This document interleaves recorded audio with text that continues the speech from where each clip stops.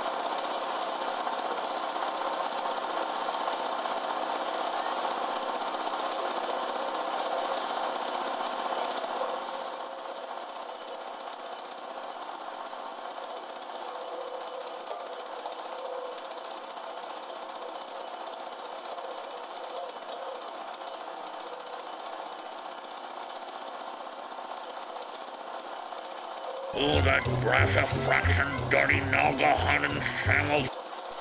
Right here, I am I am realizing a mistake in my footing when I set the the the track up. I should have made sure that there was a hole below where the stake goes in, so that I could lower it an additional eight or nine inches, where the thickness of that block.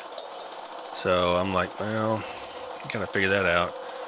So I'm gonna re redistribute the stakes stakes on this thing, the two tall ones or the longer ones have got a overhang, which is nice when you're trying to get it to bite into bark. But it there does not have a, it does not have a flush side. So if you're using it on a smooth uh, faced log like this, and I've ground the back of it off. So the back of it is just flush with the the tube itself, and I smoothed up a little bit. I probably need to repaint that because it's it's not going to be galvanized anymore. I need to repaint the entire track where I've welded it here and there. So, but that should give me one tall, and of course of the two small um, stakes or stays that come up. They're both both uh, flat. So now I have one flat and one tall that do not um, interfere with the with the side there.